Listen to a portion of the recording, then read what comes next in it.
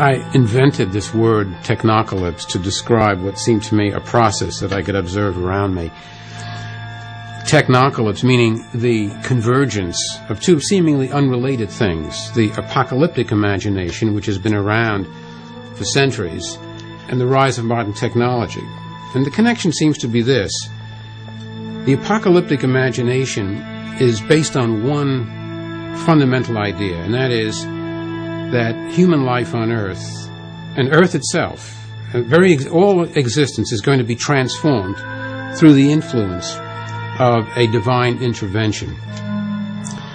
Now, that idea seems to be deeply rooted in human consciousness, but what is interesting is that we now have the technology to translate some of those fundamental dreams, those archetypal visions of the human species, into reality. The difference, of course, is that it is we human beings that are transforming the earth and transforming ourselves.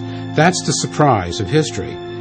That a vision that began as a prophetic and religious vision now seems to be in the process of being appropriated by humanity itself. And that convergence is what I mean by technocalypse. Neil Armstrong, Michael Collins, Edwin Buzz Aldrin. Three men to represent the culmination of a dream and the beginning of a new concept of reality. I look at space exploration, artificial intelligence, nuclear weapons, cyberspace, and genetic engineering as all essentially religious projects. I spent some weeks at the archives in NASA where the archivist had, simply out of his own interest, collected a great volume of documents about religion. And no one had ever looked at it before.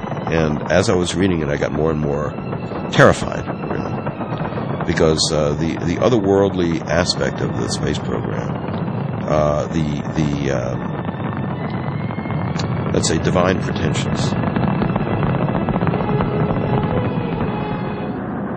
the origins of manned spaceflight in Russia, it goes back to Tsiolkovsky, who preached that it was mankind's destiny to dominate the cosmos and become reunited with God, and that space exploration uh, was the means to that end. And he was really the father of modern rocketry. In the United States, uh, von Braun, the Nazi rocket scientist who was brought here, he became a born again Christian, and he argued that human beings must go into space as part of their cosmic destiny to spread the gospel.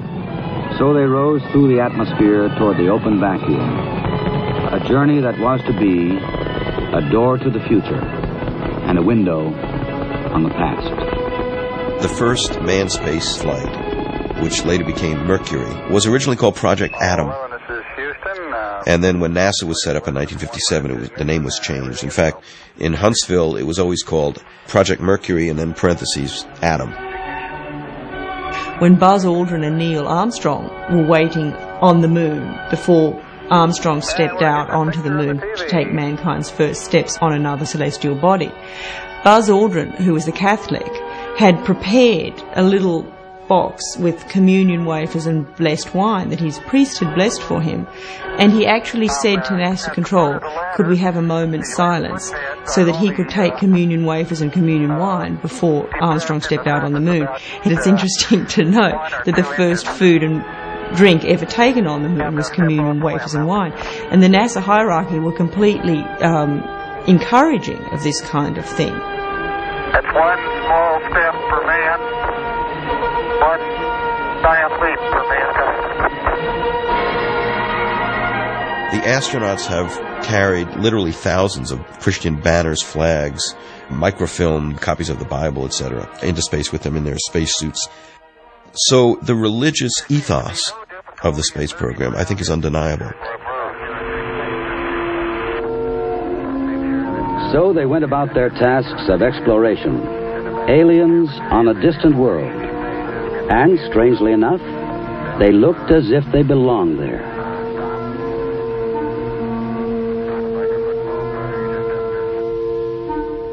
The Human Genome Project, which is the largest technological enterprise of, of our day, Francis Collins, who runs it, is a born again Christian and evangelical, very outspoken, who has written that he thinks the most important event in history is the resurrection of Jesus Christ. He says that he will allow for God to intervene in the laws of nature, etc.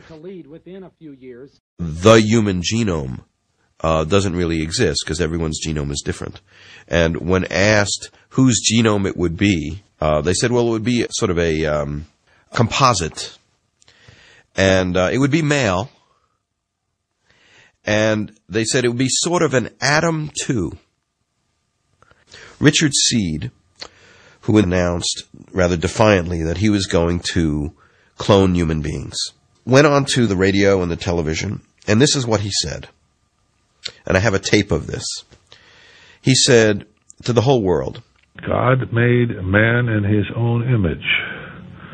God intended for man to become one with God. We are going to become one with God. Cloning and the reprogramming of DNA is the first serious step in becoming one with God. Yes, we are going to become gods. Period. Technological development, which appears to be the most worldly of activities, is in actuality an otherworldly project, rooted in the Christian notion of uh, redemption, uh, the restoration of original perfection.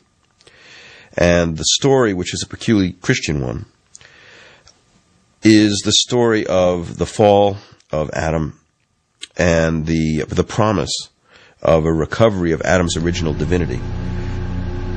Science is the ultimate authority in our culture, and scientists cultivate the image that they stand between mortals and God, and that they are the new clergy, so to speak. The notion that science and religion were enemies is really a historical myth. In fact, for most of our history, science and religion have been intimately entwined. The first time you have a really major separation between science and religion is when Darwin put forward his thesis that man was descended from apes and not made in the image of God. That caused a huge tension between science and religion. And in the late 19th century, a mythology was in fact created that science and religion had always been at war, which in fact is a historical myth. So why not get it all out on the table? Okay, you want to pursue genetic engineering because human beings, as the image likeness of the God, have the right to create new species, transgenic species, participate in creation, a new creation, a, a second Genesis. That's our birthright.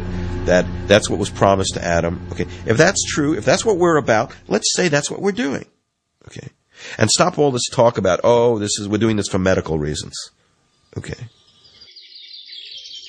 The Industrial Revolution took place in the Christian West, so it's not surprising that most religious theories trying to deal with these changes are rooted in the Christian tradition. But now that the whole world is confronted with modern technology, people within other traditions also seek answers to the implications of modernity and how to reconcile technology with their own beliefs. Their reflections might give us an idea about how the world would react to the prospect of a transhuman future. To thee, the data, the code, the communications, forever, amen.